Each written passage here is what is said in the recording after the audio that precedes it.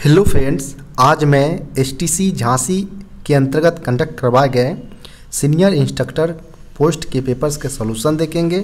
इसलिए वीडियो के लास्ट तक बने रहें एवं वीडियो पसंद आए तो वीडियो को लाइक एवं चैनल को सब्सक्राइब करना ना भूलें। चलिए शुरू करते हैं। सबसे पहले देखेंगे कि यह पेपर नॉर्थ सेंट्रल रेलवे के अंतर्गत जो सुपरवाइजर्स ट्रेनिंग सेंटर झांसी है, वहाँ पर यह पेपर सीनियर इंस्ट्रक्टर सी के अंतर्गत पेपर कंडक्ट हुआ था। अगर बात करें एग्ज़ाम डेट की तो अभी हाल ही में 22 सितंबर 2023 को ये पेपर कंडक्ट हुआ था, जिसमें कैंडिडेट को दो घंटे का समय दिया गया था और इसमें नंबर ऑफ़ क्वेश्चंस की अगर बात करें तो टोटल 110 प्रश्न इसमें पूछे गए थे, जिसमें कैंडिडेट को केवल और केवल 100 प्रश्न का जवाब देना था, जिसके लिए कैंडिडेट को दो घंटे का समय दिया गया था। और इसमें बात करेंगे नेगेटिव मार्किंग का तो वन थर्ड नेगेटिव मार्किंग का भी प्रावधान इस पेपर के अंतर्गत किए गए थे। आगे चलिए देखते हैं कि इस पेपर के अंतर्गत कौन कौन से प्रश्न पूछे गए थे। सबसे पहले प्रश्न की अगर बात करें तो यहाँ पर पहले प्रश्न पूछे गए थे what is the length of her body of L H B coaches यानी एल एच बी कोचेज का लेंथ अवर बॉडी यानी body one end to other end जो होता है एल एच बी कोच की बॉडी का लेंथ वो कितने एम को होता है, वो यहाँ पर पूछे गए हैं। तो यहाँ पर अगर बात करें हम एल एच बी कोचेज का तो head stock to head stock अगर बात करें लेंथ का तो यह तेईस हज़ार पाँच सौ चालीस एम का होते हैं। वहीं अगर बात करें दोनों तरफ़ एल एच बी कोचेज में H type C B C coupler लगे होते हैं। तो यहाँ पर अगर बात करें, अगर लेंथ अवर कपलर अगर पूछा जाता कि लेंथ अवर कपलर कितने एम के होते हैं तो यह हो जाता चौबीस हज़ार एम एम यहाँ पर अगर बात करें प्रश्न के अनुसार तो लेंथ अवर बॉडी पूछा गया था तो तेईस हज़ार पाँच सौ चालीस एम एम ऑप्शन नंबर की बात करें तो ऑप्शन नंबर सी इसका सही उत्तर हो जाएगा।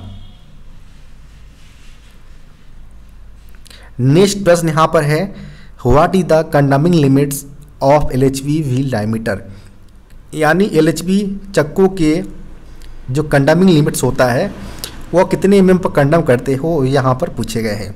तो बी चक्कों का जो न्यू डायमेंशन होता है वो 915 एम होता है और कंडम हम 845 एम पर करते हैं। तो यहाँ पर हमारा ऑप्शन नंबर सी यहाँ पर सही उत्तर हो जाएगा।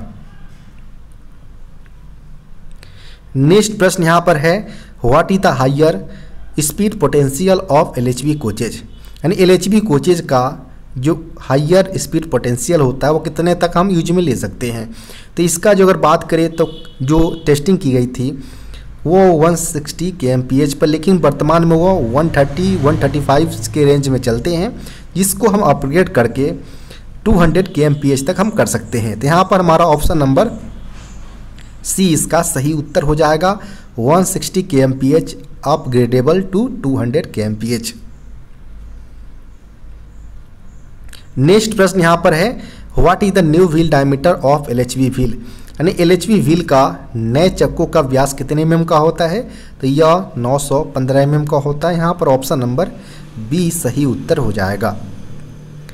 नेक्स्ट यहाँ पर प्रश्न है how many make C T B U are use in L H B coaches यानी एल एच वी कोचेज के अंतर्गत जो कार्टज टेपर बियरिंग यूनिट जो यूज़ किए जाते हैं वो कौन से मेक के, कितने मेक का होता है? तो टोटल दो मेक की में होते हैं।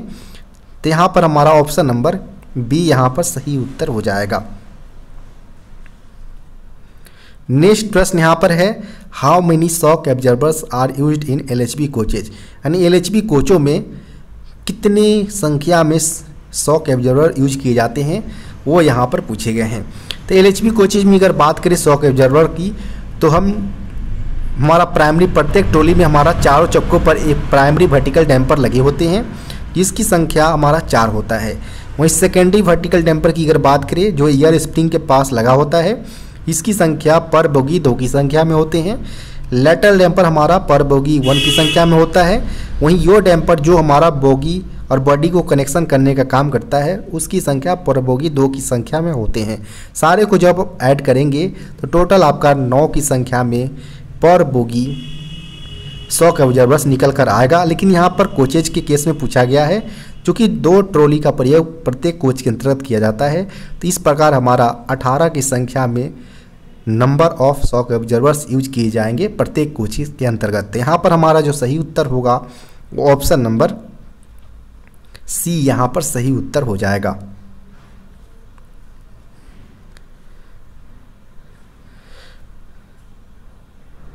नेक्स्ट यहाँ पर प्रश्न है what is the name of shock absorber connected between bogie and car body जो एलएचबी का अपर बॉडी होता है, जिसे सेल बोलते हैं, और नीचे जो बोगी होता है, दोनों को कनेक्शन करने का काम जो शॉक ऑब्जर्वर करता है, उसे हम यो डैम्पर के नाम से जानते हैं। तो यहाँ पर हमारा ऑप्शन नंबर सी यहाँ पर सही उत्तर हो जाएगा। या इस तरह से यो डैम्पर जो हमारा अपर बॉडी के साथ कनेक्टेड होता है, और दो की संख्या में यो डैम्पर पर बोगी लगे होते हैं। वहीं अगर पर कोचेज की अगर बात करें तो ज़ीरो फोर की संख्या में पर कोचेज लगे होते हैं। नेक्स्ट यहाँ पर प्रश्न है, codal life of L H B coaches. यानी एल एच बी कोचेज का जो कोडल लाइफ होता है, वह थर्टी फाइव ईयर्स होता है। यहाँ पर ऑप्शन नंबर डी सही उत्तर हो जाएगा।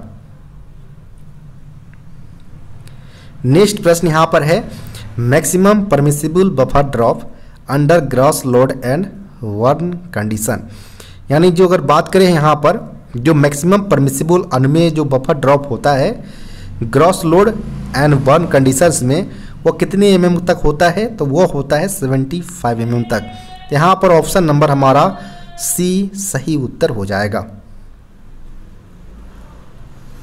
नेक्स्ट प्रश्न यहाँ पर है trip maintenance schedules that is depot one schedules of L coach is done in यानी एल कोचों का जो D one depot one trip maintenance जो मेंटेनेंस शेड्यूल कराए जाते हैं, वह प्रत्येक ट्रिप के बाद कराया जाता है। यानी after every trip D one maintenance schedule should be done तो यहाँ पर ऑप्शन नंबर सी यहाँ पर सही उत्तर हो जाएगा।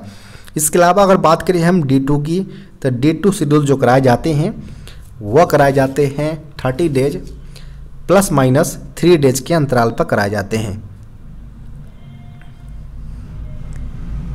इसके अलावा बात करें हम डिपो थ्री शेड्यूल्स का तो यह कराए जाते हैं 180 डेज़ प्लस माइनस 15 डेज़ के अंतराल पर कराए जाते हैं।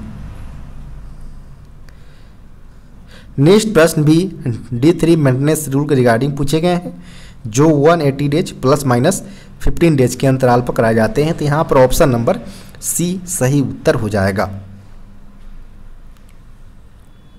नेक्स्ट प्रश्न यहाँ पर है soft schedule three of L H B coach is done in यानी यहाँ पर बात करें कि सॉफ्ट शेड्यूल जो एल एच बी कोचेज का होता है, वह कितने कितने अंतराल पर अलग अलग किया जाता है?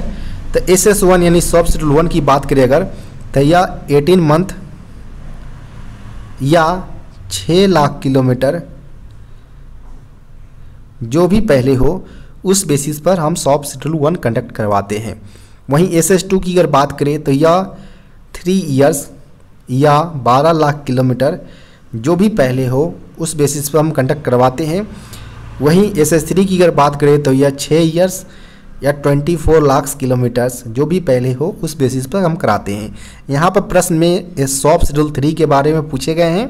तो यह छः ईयर्स या ट्वेंटी फोर लाख किलोमीटर जो भी पहले होगा, हम उस बेसिस पर इसका सॉफ्ट शेड्यूल कंडक्ट करवाएँगे। तो यहाँ पर हमारा ऑप्शन नंबर डी इसका सही उत्तर हो जाएगा। नेक्स्ट प्रश्न यहाँ पर है, side बाल्ब of L H coaches are manufacture from. यानी एल एच कोचेज का जो साइड बाल्ब एवं इसके अलावा अगर बात करें हम इंड बाल्ब की, ये दोनों के दोनों जो होता है वो ferritic steel S S four zero nine M का बना होता है।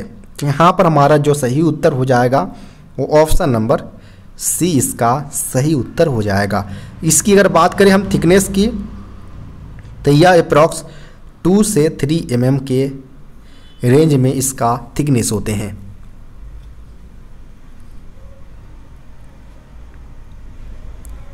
नेक्स्ट यहाँ प्रश्न है convener of the tender committee in store department is the यानी स्टोर डिपार्टमेंट के अंतर्गत जो टेंडर कमेटी का कन्वीनर होता है, संयोजक होता है वो कौन होता है? तो वो होता है स्टोर मेंबर। तो यहाँ पर ऑप्शन नंबर जो होगा ऑप्शन नंबर डी इसका सही उत्तर हो जाएगा। नेक्स्ट यहाँ प्रश्न है, buffer stock is known as, यानी बफर स्टॉक को जाना जाता है सेफ्टी स्टॉक के रूप में। तो यहाँ पर हमारा ऑप्शन नंबर बी सही उत्तर हो जाएगा।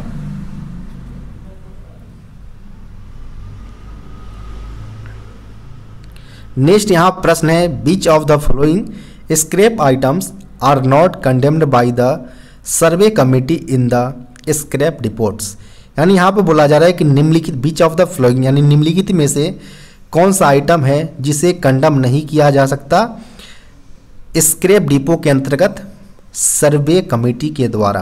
तो यहाँ पर हम बात करें कि सर्वे कमेटी के द्वारा जो स्क्रैप आइटम्स कंडम नहीं किया जा सकता, वह होगा यहाँ पर हम कपलर बॉडी को कंडम किया जा सकता है। एम्प्टी ड्रम और जो माइल्ड स्टील सीट्स होता है, ये सारे को कंडम किया जा सकता है, लेकिन बैगन को हम नहीं कर सकते हैं। तो यहाँ पर हमारा ऑप्शन नंबर ए इसका सही उत्तर हो जाएगा। नेक्स्ट यहाँ प्रश्न है in which form materials are not required are return to the nominated stores depots as per store code यानी यहाँ पे बोला जा रहा है कि इन किस, कौन से फर्म में मटेरियल्स का रिक्वायरमेंट नहीं होता है रिटर्न करना नॉमिनेटेड स्टोर्स को स्टोर कोड्स के अनुसार। तो यहाँ पर हम बात करें स्टोर कोड्स के अनुसार अगर रिटर्न नहीं करने की रिक्वायरमेंट होता है तो इसमें हम जो फर्म यूज़ करते हैं, वो हम S one five three nine का हम प्रयोग करते हैं। यानी यहाँ पर ऑप्शन नंबर ए इसका सही उत्तर हो जाएगा। जिसके मदद से हम मटेरियल का जो नॉमिनेटेड स्टोर्स होते हैं, वहाँ पर रिटर्न करने की रिक्वायरमेंट नहीं होता है यह हमारा स्टोर कोड्स के अंतर्गत बताए गए हैं। नेक्स्ट यहाँ प्रश्न है as per factory act after how many years should the factory premises be painted and refurbished यानी यहाँ बोला जा रहा है कि फैक्ट्री एक्ट के अनुसार कितने वर्ष के के बाद हमें फैक्ट्री को पेरेमाइसिस पेंटेड एंड रिफर्विस्ड करना चाहिए। तो यहाँ पर हम बात करें कि पेंट और जो नवनीकृत करते हैं हम फैक्ट्री को, वो कितने अंतराल पर करना चाहिए तो हम फाइव ईयर्स के बाद करते हैं। तो यहाँ पर हमारा ऑप्शन नंबर ए इसका सही उत्तर हो जाएगा।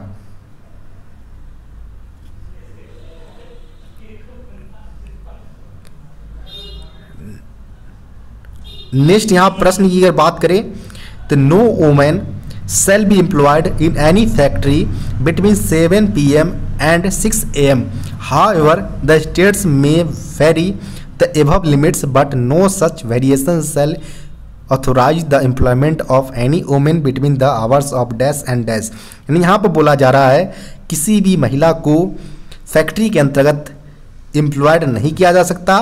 सात पीएम से लेकर छः एमएम के बीच। हालाँकि जो स्टेट जो राज्य है, राज्य वगैरह, वहाँ पर यह लिमिट्स को वेरी कर सक, करता है, जो वेरिएशन ऑथोराइज करता है, लेकिन इसमें जो वेरिएशन है, वह जो लिमिट्स है, वह वेरी नहीं करना चाहिए। जो लिमिट्स रखा गया है 10 पीएम से लेकर 5 पीएम के बीच का, उसको वायलेट नहीं करना चाहिए। इसको भी ध्यान रखना होगा, राज्य को भी। तो यहाँ पर हमारा जो सही उत्तर हो जाएगा वो ऑप्शन नंबर सी इसका सही उत्तर हो जाएगा। 10 पीएम टू 5 एम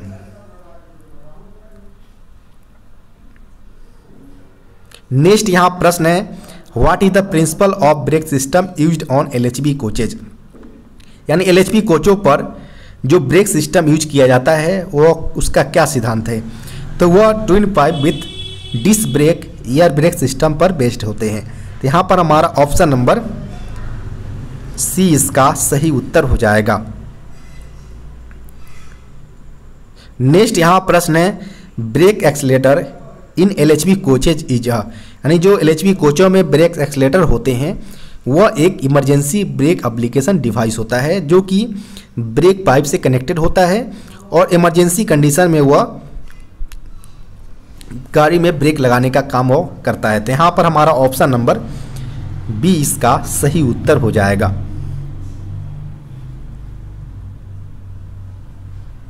नेक्स्ट यहाँ प्रश्न है, when brakes, indicator, shows red, in L H coaches, the brake will be. यानी अगर ब्रेक इंडिकेटर अगर रेड शो कर रहा हो एल एच कोचों के अंतर्गत जो लगा हमारा ब्रेक इंडिकेटर होता है वहाँ पर तो हमारा जो ब्रेक का कंडीशन होगा वो अप्लाइड कंडीशन को इंडिकेट करेगा। तो यहाँ पर हमारा ऑप्शन नंबर बी इसका सही उत्तर होगा। वहीं अगर बात करें हम तो ग्रीन कलर जो होता है, वो हमारा रिलीज़ कंडीशन को इंडिकेट करता है। नेक्स्ट यहाँ प्रश्न है P E S D stand for यानी पी ई एस डी का अर्थ क्या होता है? तो यह होता है passenger emergency alarm signalling device होता है। यहाँ पर ऑप्शन नंबर ए इसका सही उत्तर हो जाएगा। नेक्स्ट यहाँ प्रश्न है condemning limits of brake pad in LHB यानी एलएचबी कोचों में जो ब्रेक ब्लॉक हम अन्य कोचों में प्रयोग करते हैं बैगन्स में एलएचबी कोचों के अंतर्गत उनके स्थान पर हम ब्रेक पैड का प्रयोग करते हैं। जिसका अगर बात करें कंडमिंग लिमिट्स का तो यह सेवन एम एम के रेंज में होते हैं। तो यहाँ पर हमारा ऑप्शन नंबर बी इसका सही उत्तर हो जाएगा। वहीं अगर बात करें हम न्यू डायमेंशन का ब्रेक पैड का तो यह 35 एम mm का न्यू कंडीशन में इसका थिकनेस होता है।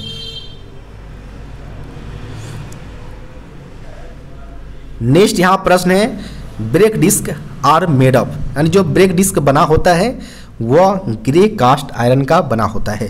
तो यहाँ पर ऑप्शन नंबर ए इसका सही उत्तर हो जाएगा। अगर बात करें हम ब्रेक डिस्क का तो इसका डाया जो होता है, वह 640 फोर्टी एम एम का होता है। और वहीं अगर बात करें इसके थिकनेस की तो इसका थिकनेस 110 यानी 110 mm का होता है। जब यह रिड्यूस होकर 96 सिक्स mm तक आ जाता है तो हम इसको सर्विस से कंडम कर देते हैं। इसके अलावा अगर बात करें जो ब्रेक डिस्क के ऊपर जो फिंस प्रोवाइड होता है, वह गैप के साथ प्रोवाइडेड होता है। तो यह गैप जो प्रोवाइड करवाया जाता है फिंस जो प्रोवाइड करवाया जाता है, वह कूलिंग पर्पज़ के लिए प्रोवाइड करवाया जाता नेक्स्ट यहाँ प्रश्न है how many brake cylinder are provided in a A type coaches यानी ए टाइप कोचेज में ब्रेक सिलेंडर कितने की संख्या में प्रयोग प्रोवाइड होते हैं, वो यहाँ पर पूछे गए हैं।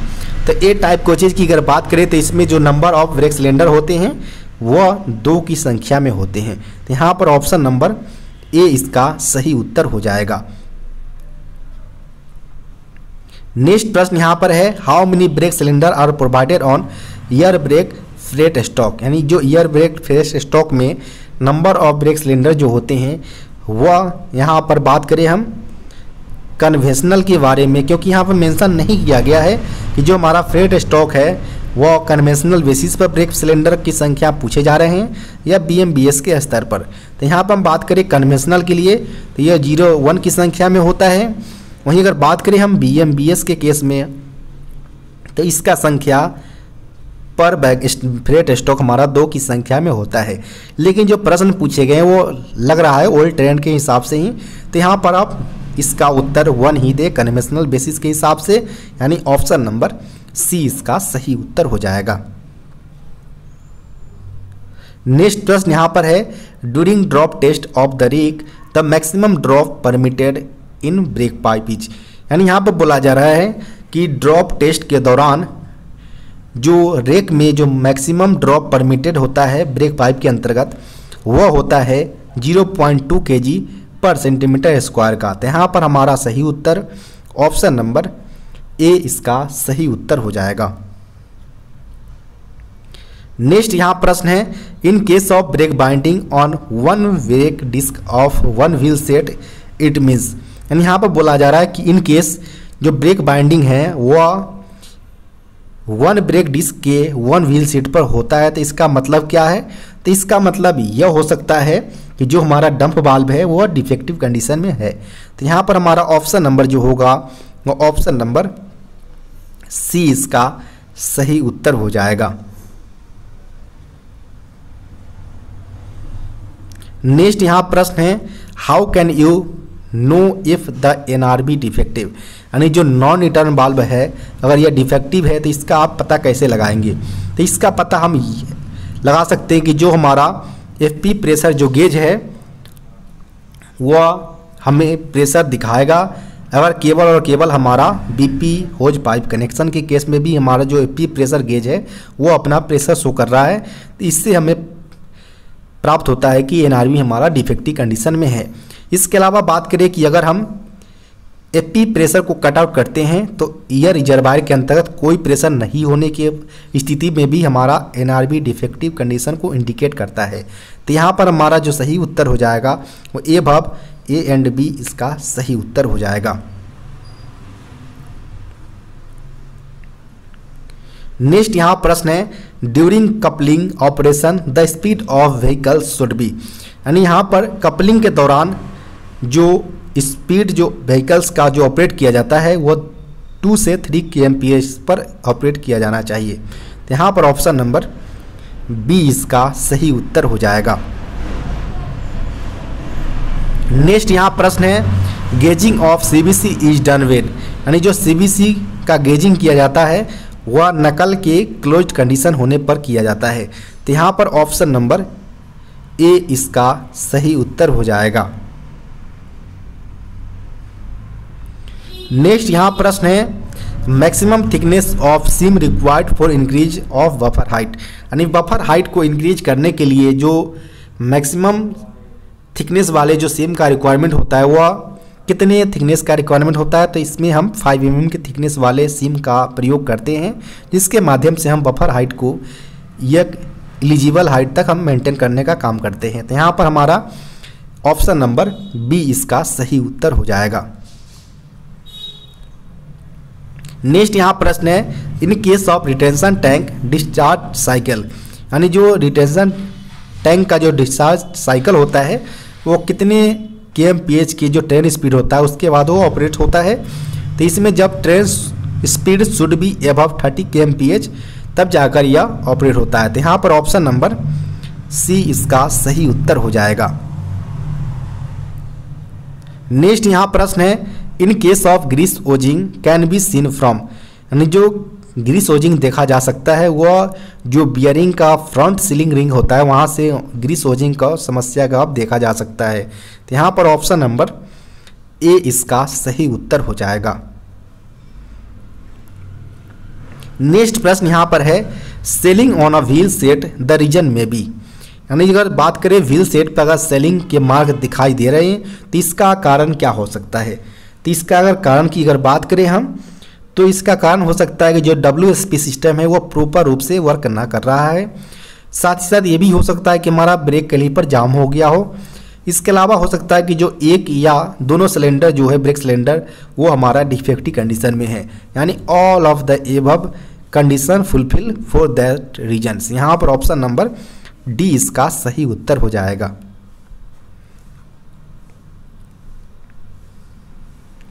नेक्स्ट यहाँ प्रश्न है if the primary spring of an axle box is weak it can be identified by यानी यहाँ पर बोला जा रहा है कि अगर प्राइमरी स्प्रिंग जो एक्सल बॉक्स का जो प्राइमरी स्प्रिंग है, वह बिक है, कमज़ोर है तो इसको कैसे आइडेंटिफाई किया जा सकता है? तो इससे, इसको हम आइडेंटिफाई करने के लिए अगर बात करें तो जो हमारा प्राइमरी डैम्पर्स का जो डिफ्लेक्शन है, वो हम मेजर करके हम इसको बिग कंडीशन को मेजर कर आइडेंटिफाई कर सकते हैं।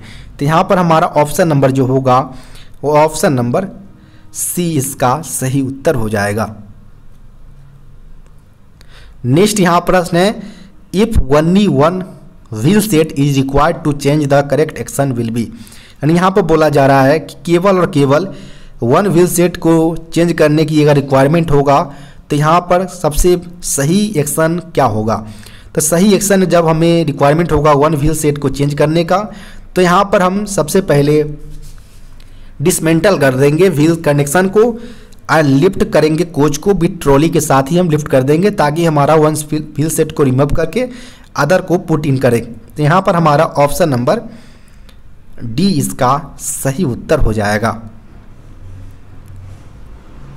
नेक्स्ट यहाँ प्रश्न है dash gas is use in MIG welding, यानी जो मेटल इनर्ट गैस वेल्डिंग होता है, उसमें किस प्रकार का गैस का प्रयोग किया जाता है तो इसमें कार्बन डाइऑक्साइड यानी सी इसका सही उत्तर हो जाएगा। नेक्स्ट प्रश्न यहाँ पर है EOT crane has dash motion. तो यहाँ पर अगर बात करें ईओटी के बारे में तो ईओटी एक इलेक्ट्रिक ओवरहेडेड ट्रैवलिंग क्रेन होता है, जो कि आप वर्कशॉप आईओएच या आरओएच या प्रोडक्शन यूनिट्स में इसके वर्क्स को आप देखते होंगे। तो यहाँ पर बात करें तो यह किसी भी जो बैगन या कोचेज या ट्रॉली को लिफ्ट करके वन पैलेस से अदर पैलेस तक मूवमेंट कराने का काम ईओटी क्रेन के माध्यम से हम सॉप्स या ROH या आई के अंतर्गत हम करते हैं।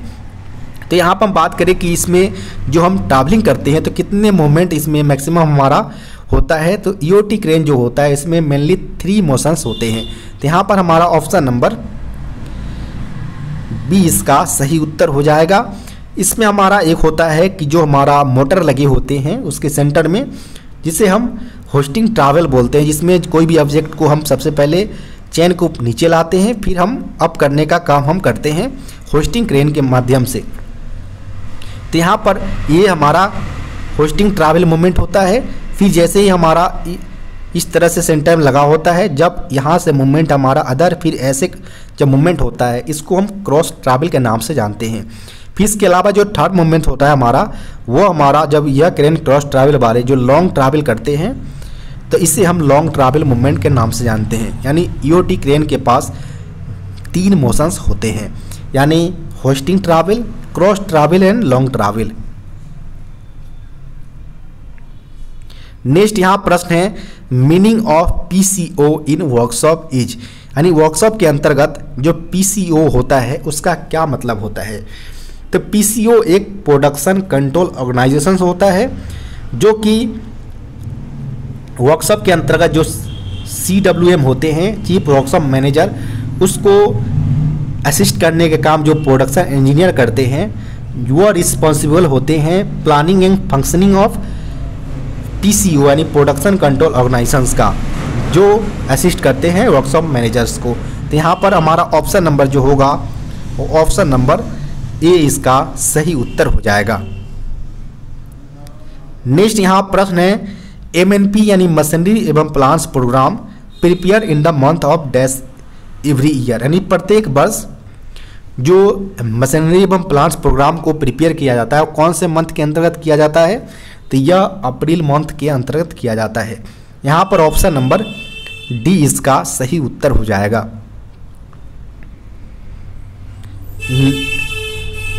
नेक्स्ट प्रश्न यहाँ पर बात करें तो D B is over hold in यानी डी बी को ओवर होल्ड किया जाता है पी ओ एच के दौरान किया जाता है, यानी पीरियोडिक ओवर होल्डिंग के लिए जो भी हमारा कोच या वैगन जाते हैं तो उनका डी बी का भी ओवर होल्ड किया जाता है। यहाँ पर ऑप्शन नंबर ए इसका सही उत्तर हो जाएगा। नेक्स्ट यहाँ प्रश्न है the work of limit switch is यानी जो लिमिट स्विच का क्या कार्य है? तो लिमिट स्विच का कार्य होता है कि जो क्रेन को स्टॉप करने का, यानी to stop crane option number C इसका सही उत्तर हो जाएगा। नेक्स्ट यहाँ प्रश्न है A A C is for dash item यानी ए ए सी का फुल फॉर्म होता है एंटीसिपेटेड एनुअल कंजप्शन होता है, जो कि ए सी जो यूज़ किया जाता है वो स्टॉक आइटम के लिए प्रयोग किया जाता है। यहाँ पर ऑप्शन नंबर ए इसका सही उत्तर हो जाएगा। नेक्स्ट यहाँ प्रश्न है dash bearings is fitted in BLC wagon यानी बीएलसी वैगन में किस प्रकार के बियरिंग फिट होता है? तो यह हो जाएगा सी टी आर बी यानी कार्टेज टेपर रोलर बियरिंग यहाँ पर ऑप्शन नंबर ए इसका सही उत्तर हो जाएगा। बीएलसी वैगन जो होता है, जिसमें हमारा एक यूनिट में फाइव कार लगे होते हैं। फाइव कार में अगर बात करें तो दोनों एंड पर हमारा ए कार लगा होता है। बीच में हमारा थ्री बी कार लगे होते हैं। बी कार जो होते हैं, वो एस डी वी यानी स्लैक लेस ड्रो बार के साथ कनेक्टेड होते हैं, जिसका रेल लेवल से हाइट की अगर बात करें तो एट फोर्टी फाइव एम होता है। वहीं ए कार जो होता है वह सी बी सी के साथ अटैच होता है वन इंड पर। जिसकी अगर बात करें रेल लेवल से हाइट तो वह एलेवन ज़ीरो फाइव यानी ग्यारह सौ पाँच एम इसकी हाइट रेल लेवल से होती है। इसके अलावा हम बात करें तो बी एल सी वैगन जो ए कार और बी कार होता है, इसका एक्सल लोड जो होता है, वह twenty point three two ton इसका एक्सल लोड होता है। इसमें प्रत्येक कार पर आठ की संख्या में एटीएल लगाए जाते हैं कंटेनर को लॉक और अनलॉक करने के लिए। नेक्स्ट यहाँ प्रश्न है rail crane can be work यानी रेल क्रेन को कार्य किया जा किया जा सकता है। तो इसमें बात करें हम तो ओनली वन ट्रैक ट्रैक पर काम यह करता है। जो रेल क्रेन होता है, वो केवल और केवल ट्रैक पर काम करता है। तो यहाँ पर ऑप्शन नंबर जो होगा, वो ऑप्शन नंबर ए इसका सही उत्तर हो जाएगा। नेक्स्ट यहाँ प्रश्न है machine is use to manufacturing gear teeth यानी जो मशीन का प्रयोग किया जाता है, गियर तीत को बनाने के लिए वो कौन सा मशीन का यूज़ किया जाता है तो यह यूज़ जो किया जाता है, वो माइलिंग मशीन का यूज़ किया जाता है।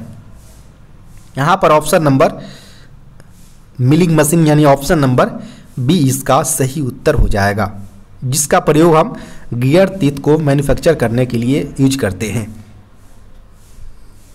नेक्स्ट यहाँ प्रश्न है final fit of wagon is given by यानी वैगन का फाइनल फिट जो दिया जाता है, वो एन टी एक्स आर का द्वारा दिया जाता है। तो यहाँ पर ऑप्शन नंबर सी इसका सही उत्तर होगा।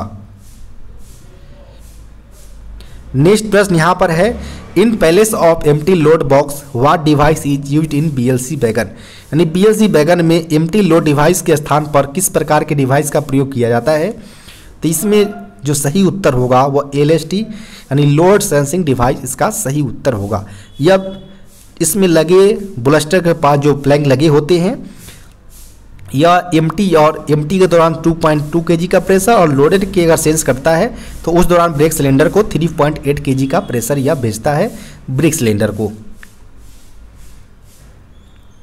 नेक्स्ट प्रश्न यहाँ पर है what is the material specification of BLC wagon trolley यानी जो बीएलसी बैगन ट्रॉली का जो मटेरियल स्पेसिफिकेशन होता है, वह होता है कास्ट स्टील तो यहाँ पर जो सही उत्तर होगा, वह ऑप्शन नंबर ए इसका सही उत्तर हो जाएगा।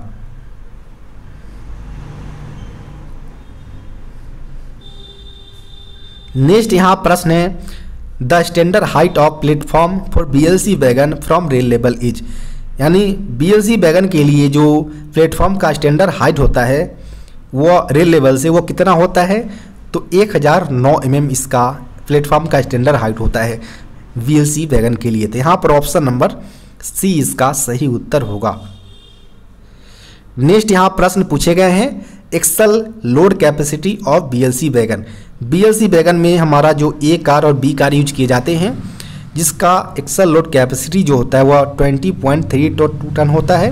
यहाँ पर ऑप्शन नंबर बी इसका सही उत्तर होगा।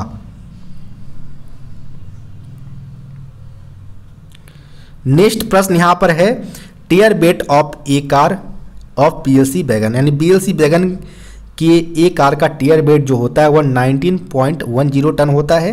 यहाँ पर ऑप्शन नंबर बी इसका सही उत्तर होगा।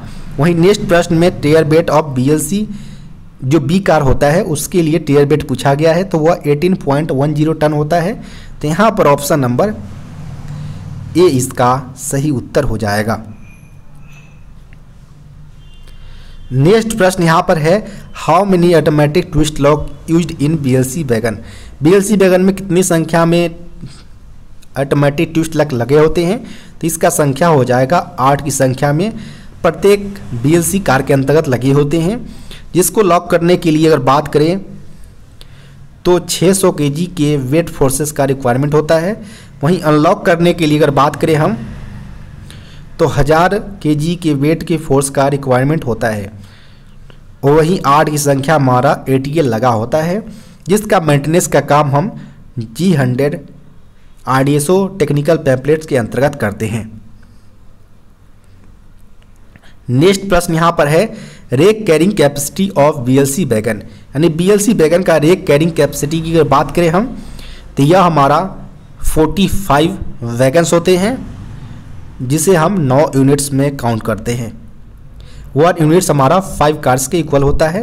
यहाँ पर ऑप्शन नंबर बी इसका सही उत्तर होगा। नेक्स्ट प्रश्न यहाँ पर पूछे गए हैं।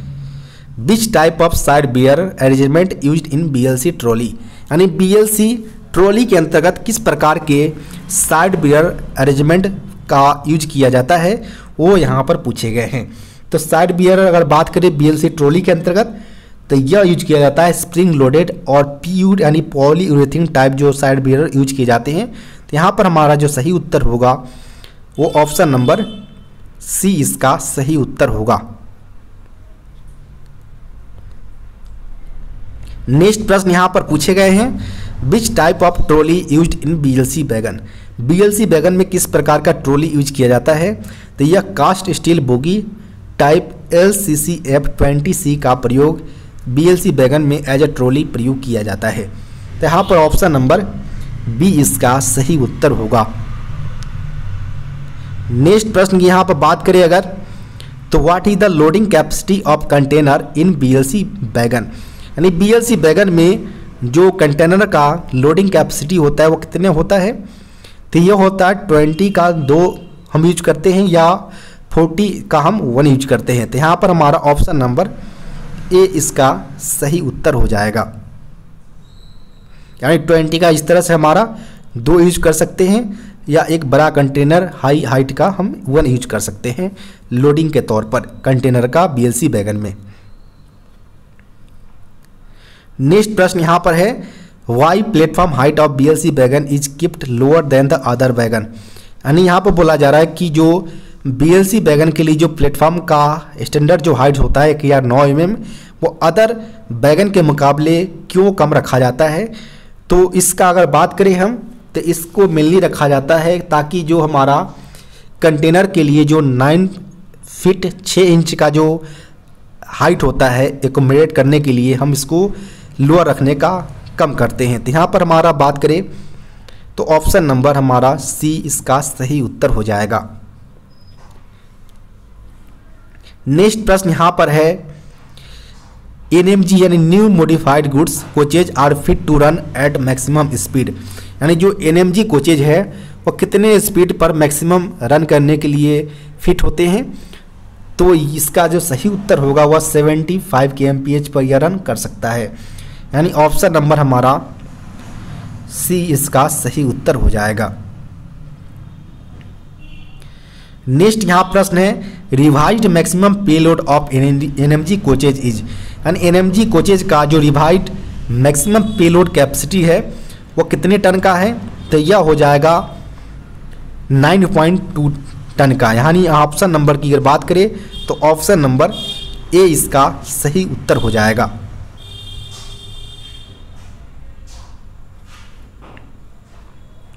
नेक्स्ट प्रश्न यहाँ पर है, the maintenance rules of N M G coaches will continue to be? यानी यहाँ पर बात करें जो एन एम जी कोचेज का मेंटेनेंस रूल होता है वह कंटिन्यू किया जाता है, ऑन द कोचिंग पैटर्न्स के अनुसार किया जाता है। तो यहाँ पर ऑप्शन नंबर जो होगा, वो ऑप्शन नंबर ए, इसका सही उत्तर हो जाएगा।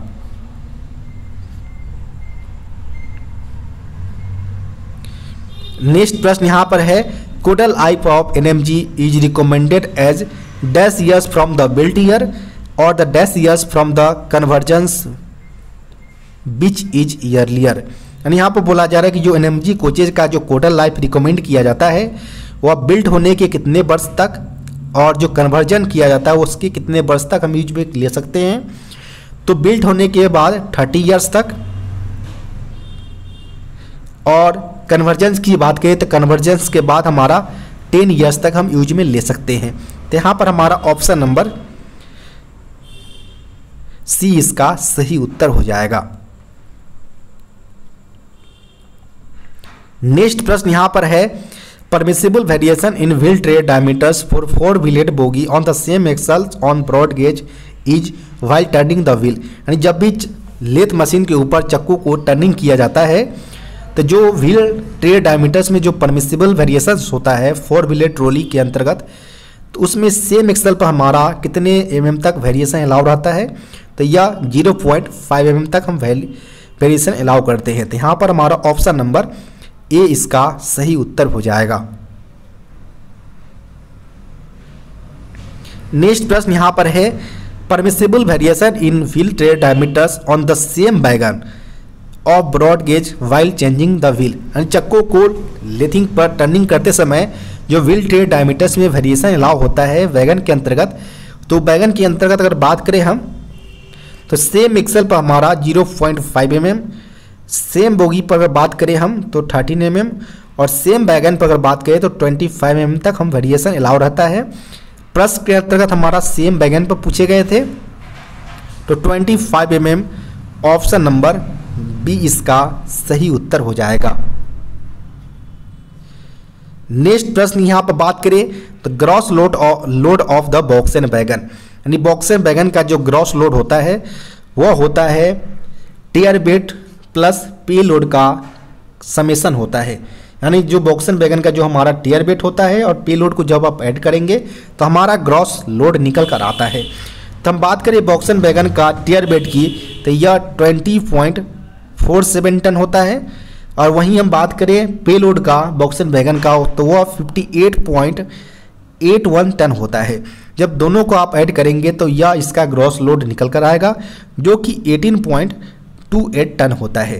तो यहाँ पर जो सही उत्तर निकल कर आएगा, वो ऑप्शन नंबर बी इसका सही उत्तर होगा।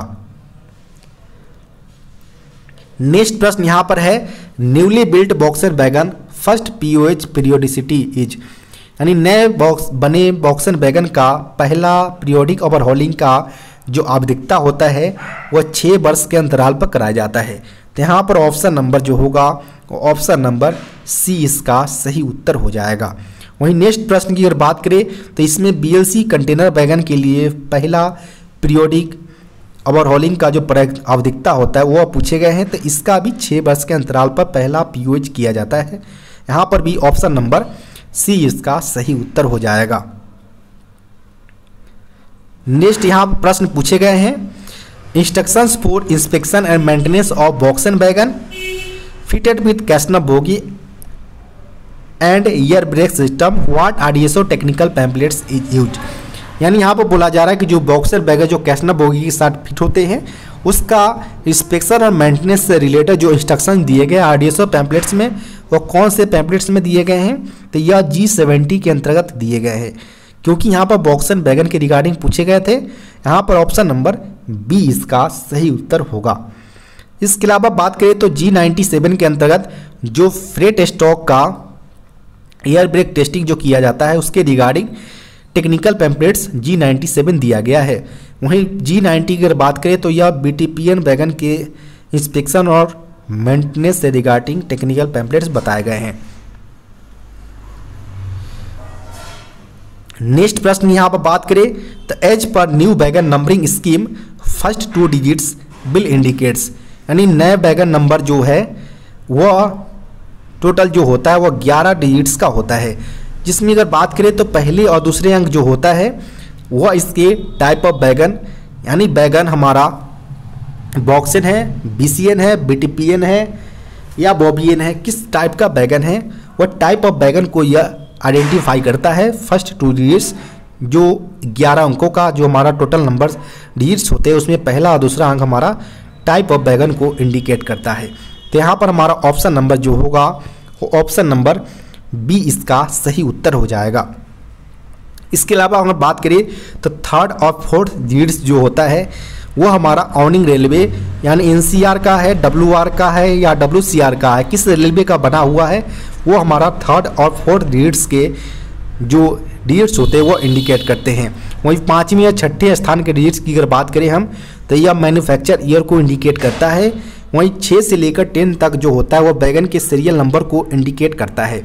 वहीं इलेवन जो लास्ट डिजिट्स होते हैं, वो इसके चेक डिजिट्स को आइडेंटिफाई करता है, जिसके माध्यम से जो ग्यारह अंकों का बैगन फॉर्मेशन होता है, उसको करेक्टनेस को जाँच किया जा सके।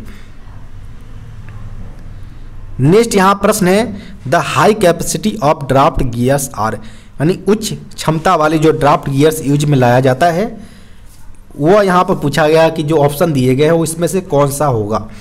तो यहाँ पर बात करें तो R F three sixty one और एम के फिफ्टी जो दो टाइप के जो हमारे ड्राफ्ट गियर्स होते हैं, वो हाई कैपेसिटी के होते हैं। तो यहाँ पर हमारा ऑप्शन नंबर जो होगा, वो ऑप्शन नंबर बी इसका सही उत्तर हो जाएगा। यहाँ पर आर एफ़ थ्री सिक्सटी की कैपेसिटी की अगर बात करें थ्री सिक्सटी वन की तो इसका कैपेसिटी होता है फाइव सेवन टू फाइव के जी मीटर इसका कैपेसिटी होता है। वहीं एम के फिफ्टी की अगर बात करें हम तो इसका जो कैपेसिटी होता है वह फाइव थ्री एट फाइव के जी मीटर इसका कैपेसिटी होता है। नेक्स्ट प्रश्न यहाँ पर है what type of centre buffer coupler use in Indian railway यानी जो भारतीय रेलवे में किस प्रकार के सेंटर बफर कपलर का प्रयोग किया जाता है तो इसमें ए ए आर टाइप इसका सही उत्तर हो जाएगा। ऑप्शन नंबर सी नेक्स्ट यहाँ प्रश्न है clevis and clevis pin are the part of यानी जो क्लेविस और क्लेविस पिन होता है, वो किसका पार्ट्स होता है? तो जो हमारा, बात करिए अगर जो इंजन में आप देखने को मिलता होगा कि जो इंजन में जो हमारा कपलर प्रयोग किए जाते हैं, उसमें हमारा क्लेबिस लगा होता है। तो वह हमारा जो होता है, वो हमारा ट्रांजिशन कपलर के पार्ट्स होते हैं। तो यहाँ पर हमारा ऑप्शन नंबर सी इसका सही उत्तर होगा। नेक्स्ट प्रश्न यहाँ पर है, the extra load of BOXN B C N B R N BOBR B T P N ये सारे का एक्सल लोड जो होता है वह twenty point three two ton होता है। यहाँ पर ऑप्शन नंबर बी इसका सही उत्तर होगा। नेक्स्ट प्रश्न यहाँ पर है, the wheel gauge should be measured on. यानी जो व्हील गेज मेजर किया जाता है वह ऑफ़ लोड कंडीशन में मेजर किया जाना, किया जाता है। यहाँ पर ऑप्शन नंबर ए इसका सही उत्तर होगा। नेक्स्ट प्रश्न यहाँ पर है, डट collector of wagon should be cleaned within यानी जो डट कलेक्टर होता है मालगाड़ियों का, उसको साफ़ किया जाना चाहिए at the time of R जब भी आर के लिए बैगन जाए तो उसके डट कलेक्टर को साफ़ किया जाना चाहिए। तो यहाँ पर ऑप्शन नंबर ए इसका सही उत्तर होगा। नेक्स्ट प्रश्न यहाँ पर है, wagon do what do you mean of S W T R यानी एस डब्ल्यू टी आर से क्या समझते हैं? क्या अर्थ होता है? तो एस डब्ल्यू टी आर जो होता है, वह सिंगल बैगन टेस्ट रिग होता है। यानी यहाँ ऑप्शन नंबर जो होगा वो ऑप्शन नंबर बी इसका सही उत्तर हो जाएगा। जिसका प्रयोग हम आरओएच या वर्कशॉप में जहाँ पर हमारा बैगन को सिंगल बाय सिंगल टेस्टिंग का रिक्वायरमेंट होता है मैन्युफैक्चरिंग या उसको करेक्टनेस होने के बाद तो वहाँ पर हम एस के माध्यम से बैगन का हम टेस्टिंग करते हैं। तो यहाँ पर हमारा ऑप्शन नंबर बी इसका सही उत्तर होगा। नेक्स्ट प्रश्न की अगर बात करें यहाँ पर तो which type of steel are used in side frame column friction plates of कैसना bogie यानी किस प्रकार के स्टील का प्रयोग कैसना बोगी के जो side frame column friction plates होते हैं, उसमें हम करते हैं तो इसमें सही उत्तर जो होगा, और सिल्को मैग्नीज स्टील इसका सही उत्तर हो जाएगा। ऑप्शन नंबर सी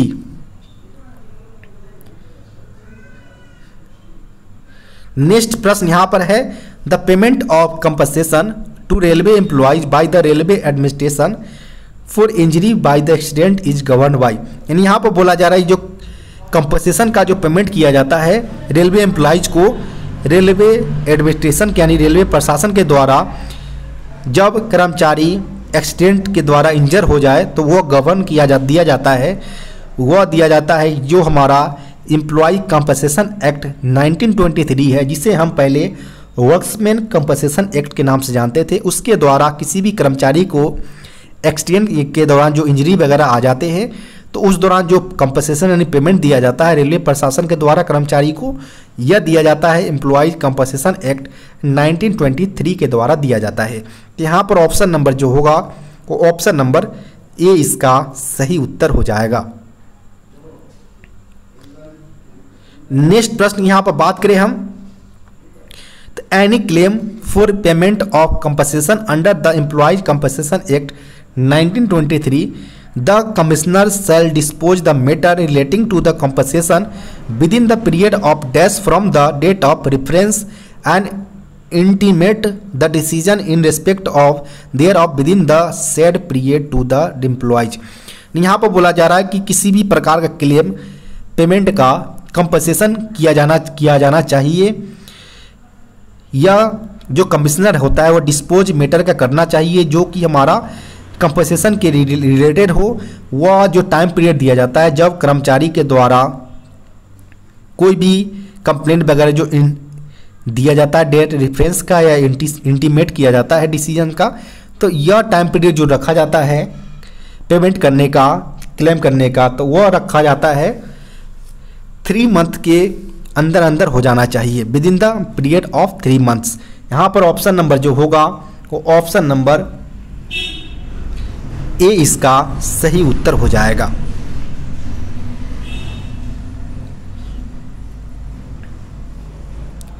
नेक्स्ट प्रश्न यहाँ पर है where an employees has been removed dismissed retrenched resigned from the service और unemployed due to the closure of the establishment the wages payable to him shall be paid without the dash working days. यहाँ पर बोला जा रहा है कि कोई भी कर्मचारी को जब सेवा से हटाया जा सके, या सेवा से बर्खास्त किया जाता है, या छटनी किया जाता है, या उसे इस्तीफा दे दिया जाता है, सर्विस से, या जो संस्था हो इस्टेब्लिश उसके बंद हो जाने के कारण, या जो उनको डिसमिस्ड या रिमूवल किया जाता है तो इस दौरान जो वेजेज पेबल किया जाना चाहिए कर्मचारी को, वह कितने वर्किंग डेज़ का किया जाना चाहिए? तो टू डेज़ वर्किंग का किया जाना चाहिए। यहाँ पर ऑप्शन नंबर जो होगा, वो ऑप्शन नंबर बी इसका सही उत्तर हो जाएगा। नेक्स्ट प्रश्न जो पूछे गए हैं which of the following statement are is और are incorrect according to the code on wages 2019 यानी 2019 कोड ऑन बेजेज के कोड के आधार पर जो निम्नलिखित में जो स्टेटमेंट दिए गए हैं, वो कौन सा गलत है, वो यहाँ पर रेक्टिफाई करना है। तो यहाँ पर पहले स्टेटमेंट की अगर बात करें the code ensures timely payment of wages to employed covered by the code जो कोड कोड के द्वारा जो कवर्ड किए गए हैं एम्प्लॉयज़ को टाइमली पेमेंट के लिए, वो इसको मिलेगा वह सही स्टेटमेंट है। सेकेंड की अगर बात करें हम तो the code ensures payment of wages without any arbitrary deduction to employees covered the by the code यानी कोड ये भी बताता है कि जो कर्मचारी का बेजेज है, वो किसी भी बिना किसी अर्बिट्री डिडक्शन का प्रोवाइड किया जाए, ये भी यह इंश्योर करता है। साथ ही साथ the central government is responsible for enforcement of the codes in Indian railway mines oil fields major ports या transport services telecommunications banking and insurance company ये सारे में जो इन्फोर्समेंट जो होता है, वो उसके लिए सेंट्रल गवर्नमेंट रेस्पॉन्सिबल होगा। यह भी हमारा बेजेज 2019 इंश्योर करता है। इसके अलावा हम बात करें अगर तो हमारा जो लास्ट जो हमारा fourth statement with the written authorisation employ कोई भी रिटर्न ऑथोराइजेशन नहीं दिया जाता है कि जो बेजेज में भी paid either by the creating the badges in the वैकिंग आउट और इलेक्ट्रिक मोड किस प्रकार से उसका बेजेज दिया जाएगा, या रिटर्न ऑथोराइजेशन एम्प्लॉयड को नहीं दिया जाता है तो यह इंश्योर नहीं किया जाता है। तो यहाँ पर हमारा ऑप्शन नंबर जो होगा ऑप्शन नंबर डी इसका सही उत्तर हो जाएगा। नेक्स्ट यहाँ पर प्रश्न पूछे गए हैं the total amount of fine which may be impose in any one wage period on any employed shall not exceed an amount equal to dash of the wages payable to him in respect of that wages period यानी जो total amount जो fine के तौर पर impose किया जाता है किसी कर्मचारी के ऊपर तो वह कितना से ज़्यादा एक्सीड नहीं करना चाहिए अमाउंट बेजेज का जो कर्मचारी को पेबल होता है बेजेज पीरियड के दौरान। तो यहाँ पर जो कर्मचारी को पीरियड के दौरान जो पेबल होता है, उसका थ्री परसेंट से ज़्यादा फाइन के तौर पर एक्सीड नहीं होनी चाहिए। तो यहाँ पर जो सही उत्तर होगा, वो ऑप्शन नंबर सी इसका सही उत्तर हो जाएगा। नेक्स्ट प्रश्न यहाँ पर बात करें तो according to the code on बेजेट 2019 which of the following shall not be deemed to be deduction from the wages of an employees यानी यहाँ पर बोला जा रहा है कि जो कोडेड, जो बेजेज 2019 के अनुसार किस प्रकार का डिडक्शन एम्प्लॉयज़ के बेजेज से डिम्ड नहीं करनी चाहिए, नहीं। तो इसमें अगर बात करें पहला, कि किसी भी प्रकार के विद होल्डिंग या इंक्रीमेंट और प्रमोशंस का विद होल्डिंग की लॉसेस नहीं करना चाहिए कर्मचारी का तो यह हमारा सही हो जाएगा। साथ ही साथ इसके अलावा हम बात करें तो किसी भी प्रकार का बेजेज जो reduction to a lower post और टाइम स्केल यानी किसी भी प्रकार का लोअर पोस्ट पर नहीं उसको रिड्यूस करना चाहिए लॉसेस करना चाहिए यह इंश्योर करता है हमारा कोडेड ऑन बेज 2019 तो यहाँ पर हमारा जो सही उत्तर होगा वो option number C one and third third इसका सही उत्तर हो जाएगा। नेक्स्ट प्रश्न यहाँ पर है what are the general duties of an occupier यानी ऑक्यूपायर का एक सामान्य ड्यूटी क्या है? तो ऑक्यूपायर की अगर बात करें समान ड्यूटी का तो पहला ड्यूटी इसका होता है कि जो maintenance of plants and system of work in factory are safe without any risk to health यानी जो प्लांट्स होता है, उसके मेंटेनेंस सिस्टम की वर्क प्रॉपर तरीके से हो रहा हो फैक्ट्री के सेफ़ कंडीशन में हो और बिना किसी हेल्थ रिस्क के हो, यह इंश्योर करना ऑक्यूपायर का काम होता है जनरल ड्यूटी होता है। इसके अलावा हम बात करें अगर तो यह भी इंश्योर करता है कि जो हमारा safety and absence of risk to health in use handling storage and transports of articles and the substances किसी भी प्रकार के आर्टिकल और सबस्टांसेस के ट्रांसपोर्ट्स स्टोरेज और हैंडलिंग में हमारा किसी भी प्रकार के जो हमारा रिस्क है हेल्थ के रिगार्डिंग उसको सेफ्टी इंश्योर करना हमारा ऑक्यूपायर का जनरल ड्यूटी होता है। तो यहाँ पर हमारा जो सही उत्तर होगा वो option number C first and two इसका सही उत्तर हो जाएगा। नेक्स्ट प्रश्न यहाँ पर है industrial disputes act was first amended in the year यानी जो हमारा इंडस्ट्रियल डिस्प्यूट्स एक्ट होता है वह पहली बार कब संशोधन किया, संशोधित किया गया था?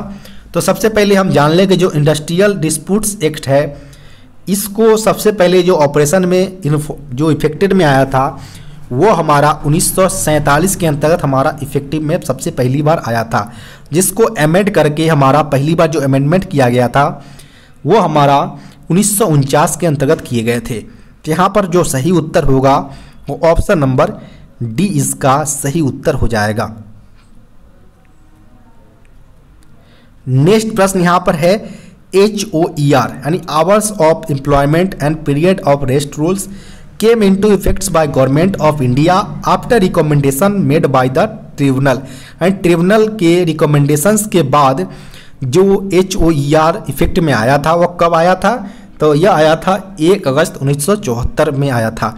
यहाँ पर ऑप्शन नंबर बी इसका सही उत्तर हो जाएगा।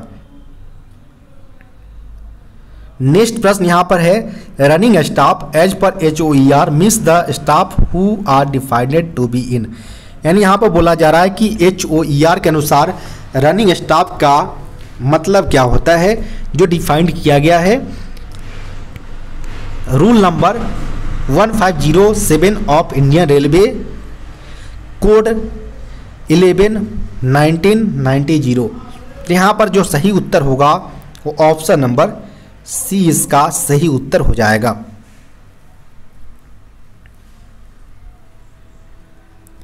नेक्स्ट प्रश्न यहाँ पर है, railway servant govern under H O E R clarify H classify H यानी जो रेलवे सर्वेंट जो है, वो अंडर एच ओ आर के अंतर्गत गवर्न किए जाते हैं। तो इसको मेनली चार कैटेगरी में डिवाइड किए गए हैं। पहला जो आता है वो हमारा कंटिन्यूस आता है। सेकेंड हमारा होता है इंटेंसिव थर्ड हमारा होता है इसेंशियली इंटरमीडिएट और फोर्थ हमारा होता है इंटेंसिव एक्सक्लूडेड तो यहाँ पर हमारा जो होगा ओ option D all of the above इसका सही उत्तर हो जाएगा। नेक्स्ट प्रश्न यहाँ पर है एक्सक्लूडेड डिस्क्राइब्स द यानी जो एक्सक्लूडेड जो डिस्क्राइब करता है वो क्या करता है? तो यहाँ पर हम बात करें एक्सक्लूडेड का तो वह जो आइडेंटिफाई करता है कि स्टाफ के पास कोई भी लिमिटेशंस नहीं हो वर्क का तो वैसे टाइप के कर्मचारी को एक्सक्लूडेड के अंतर्गत रखा जाता है। जैसे कोई कर्मचारी एम्प्लॉयड इन कॉन्फिडेंशियल कैपेसिटी में हो तो इसको हम एक्सक्लूडेड के अंतर्गत डिस्क्राइब्स करते हैं। तो यहाँ पर हमारा ऑप्शन नंबर जो होगा, वो हमारा ऑप्शन नंबर ए इसका सही उत्तर हो जाएगा। इसके अलावा हमारा सर्टेन स्टाफ जो हमारा हेल्थ और मेडिसिन से रिलेटेड है, उसको भी एक्सक्लूडेड के अंतर्गत रखा जाता है। इसके अलावा जो रेलवे स्कूल्स के जो स्टाफ्स होते हैं, या जो सुपरवाइजरी स्टाफ्स होते हैं, वो सारे के सारे एक्सक्लूडेड कैटेगरी के अंतर्गत रखे जाते हैं। नेक्स्ट जो प्रश्न है waiting room bearers comes under which H O E R clarification जो रूम बियरर जो होते हैं बैटिंग रूम बियरर्स या जो बंगलो पियोन्स होते हैं गेटमैन्स होते हैं, या केयर टेकर्स होते हैं, ये सारे सारे इसेंशियल इंटरमीडिएट्स कैटेगरी के अंतर्गत आते हैं। यहाँ पर जो सही उत्तर होगा, वो ऑप्शन नंबर बी इसका सही उत्तर हो जाएगा। नेक्स्ट यहाँ प्रश्न है a railway servant under intensive of H O clarification shall not be employed for more than dash hours a week and the periodical rest of not less than dash consecutive hours when each week start from Sunday यानी यहाँ पर बोला जा रहा है कि जो intensive category के जो कर्मचारी होते हैं, उनको कितने घंटों से ज़्यादा वीक में जिसमें पीरियडिकल और जो कस, जो हमारा कम्प्लीमेंट्री जो टाइम्स होते हैं, वो कितने घंटों से ज़्यादा नहीं होनी चाहिए? तो इसमें हमारा जो होगा, वो 45 आवर्स पर वीक से ज़्यादा नहीं होनी चाहिए।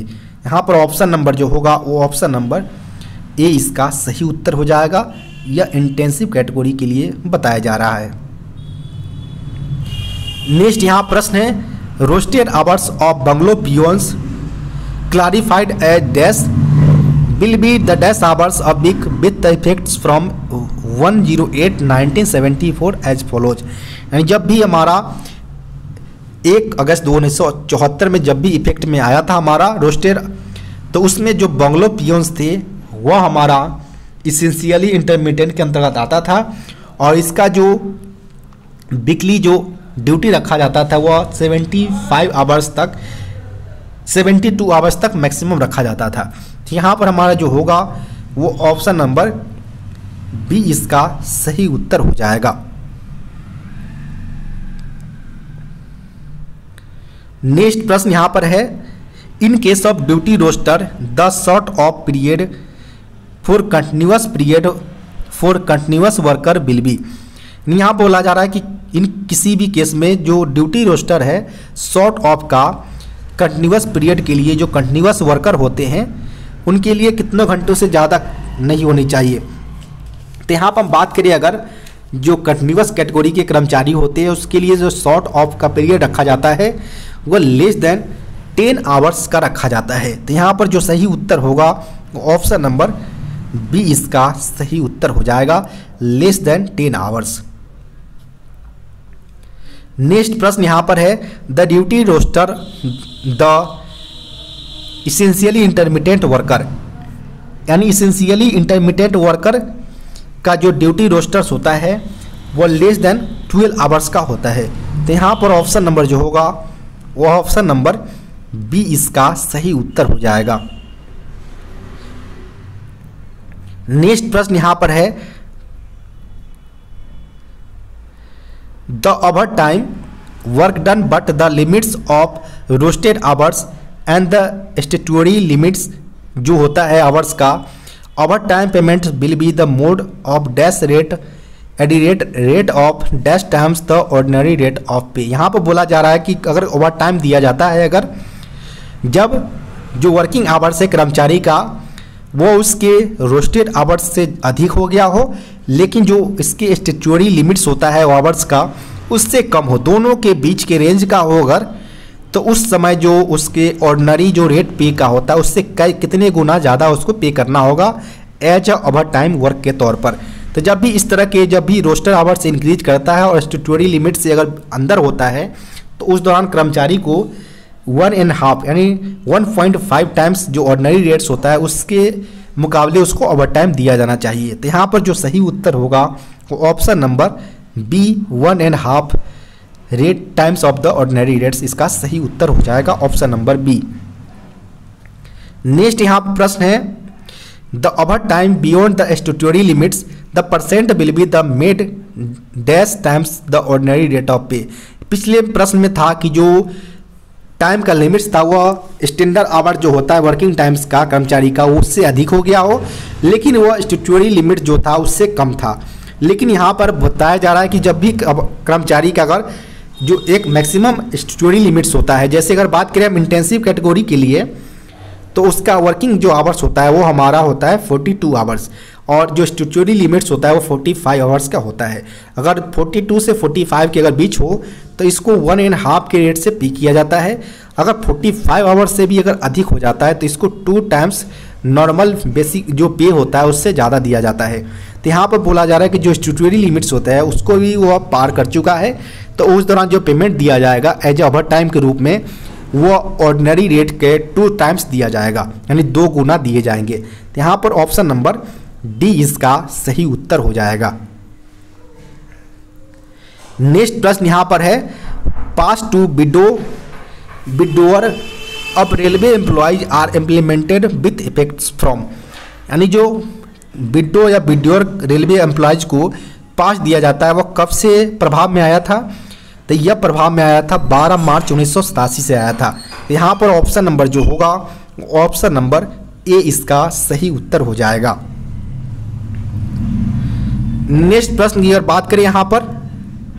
तो नेक्स्ट प्रश्न, ऑफिशियल लैंग्वेज यानी राजभाषा से पूछे गए हैं कि राजभाषा आयोग यानी ऑफिशियल लैंग्वेज कमीशन का गठन यानी फॉर्मेशन कब हुआ था?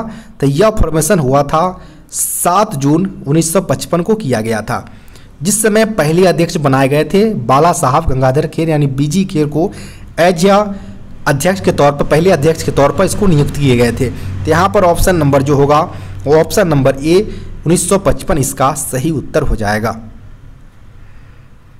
नेक्स्ट प्रश्न यहाँ पर है, कारखाना राजभाषा पर्यावरण समिति का अध्यक्ष कौन होता है?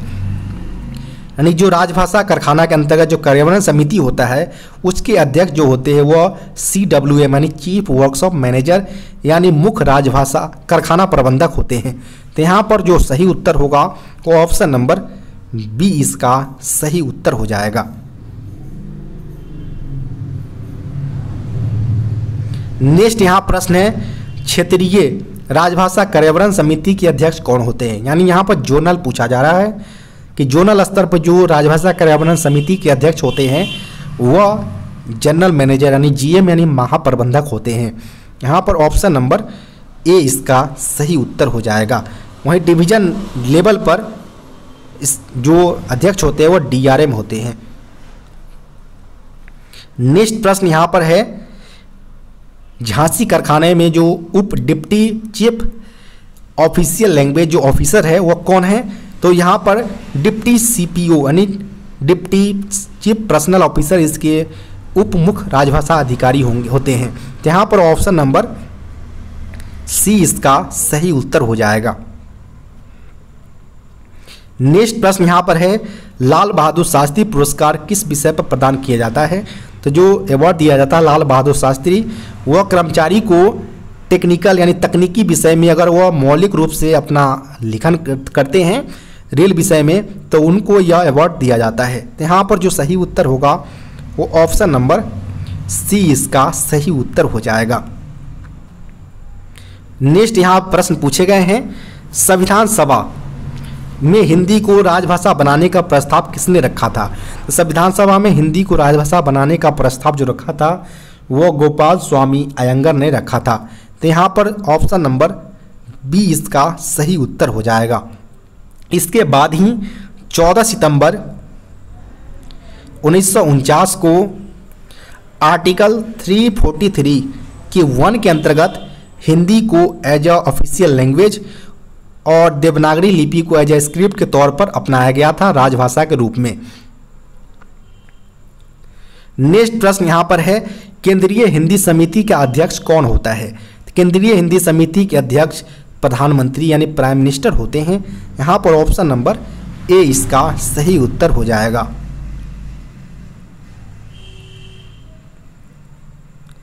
नेक्स्ट प्रश्न यहाँ पर पूछे गए हैं। हिंदी में गीत, गज़ल अथवा काव्य संग्रह लिखने में के लिए मैथिली शरण गुप्त अवार्ड दिया जाता है, जिसमें इसका पुरस्कार की राशि कितना होता है। तो मैथिली शरण गुप्त अवार्ड जो दिया जाता है काव्य संग्रहण के लिए इसमें जो फ़र्स्ट प्राइज जो विनर होते हैं, उनको ट्वेंटी थाउज़ेंड सेकेंड विनर को दिया जाता है, दस हज़ार रुपये और थर्ड विनर को दिया जाता है, सात हज़ार रुपये यानी टोटल तीन तीन आदमी को इसमें अवार्ड से नॉमिनेट किया जाता है। तो यहाँ पर हमसे प्रश्न में प्रथम पुरस्कार के लिए पूछे गए थे तो बीस हज़ार रुपये ऑप्शन नंबर ए इसका सही उत्तर हो जाएगा। नेक्स्ट प्रश्न यहाँ पर है, हिंदी में सर्वाधिक कार्य करने वाले विभाग मंडल की शाखा एवं कार, कारखाने के सामूहिक प्रथम पुरस्कार की राशि कितने दिए जाते हैं? तो जब भी हिंदी में अगर सर्वाधिक बेस्ट रूप से कार्य अपना देते हैं, कोई विभाग या मंडल की शाखा या कारखाने की सामूहिक प्रदान पुरस्कार तो इसके अंतर्गत जो अवार्ड दिए जाते हैं, वह दिए जाते हैं जिसमें प्रथम पुरस्कार यहाँ पर बोला गया तो प्रथम पुरस्कार के तौर पर बारह हज़ार रुपये की कलेक्टिव राशि दी जाती है। तो यहाँ पर ऑप्शन नंबर जो होगा, वो ऑप्शन नंबर बी इसका सही उत्तर होगा। नेक्स्ट यहाँ प्रश्न है, रेल मंत्रालय द्वारा देश में प्रथम आपदा प्रबंधन केंद्र की स्थापना कहाँ की गई थी? यानी यहाँ पर बोला जा रहा है कि जो रेलवे डिजास्टर मैनेजमेंट इंस्टीट्यूट है वो रेलवे के प्रथम आपदा प्रबंधन संस्थान है। उनका कहाँ पर इसमें स्थापना किया गया था तो यह जो हमारा कर्नाटक के अंतर्गत जो बेंगलुरु आते हैं, वहाँ पर हमारा इसका गठन किया गया था। तो यहाँ पर हमारा जो सही उत्तर होगा, वो ऑप्शन नंबर सी इसका सही उत्तर हो जाएगा, बेंगलुरु। जिसका उद्देश्य है कि जो हमारा कैंडिडेट को क्लासरूम के साथ साथ प्रैक्टिकल ट्रेनिंग जो हमारा प्रदा, दोनों प्रदान करना होता है। जिसमें हमारा सिमुलेटेशन के मदद से जो हमारा ट्रेनों का नदी में गिरने, कोचों में आग लगने जैसे जो सिमुलेटर्स प्रोसेस होते हैं, उनके माध्यम से कैसे उसमें अपना योगदान दिया जा सके, कैसे उसमें इम्प्रूवमेंट लाया जा सके, इस सारे के लिए रेलवे द्वारा, रेलवे डिजास्टर मैनेजमेंट इंस्टीट्यूट्स का स्थापना प्रथम बेंगलुरु, कर्नाटका के अंतर्गत किया गया था। तो यहाँ पर ऑप्शन नंबर जो होगा, वो ऑप्शन नंबर सी इसका सही उत्तर हो जाएगा। आपको वीडियो कैसा लगा? कमेंट बॉक्स में बताना ना भूलें। साथ ही साथ वीडियो को लाइक एवं चैनल को सब्सक्राइब करना ना भूलें। साथ ही साथ अगर आपके पास भी कोई ऐसा पेपर है, जिसका आप सॉल्यूशन चाहते हो तो डिस्क्रिप्शन बॉक्स में दिए गए व्हाट्सएप नंबर पर अपना पेपर भेज सकते हैं। धन्यवाद।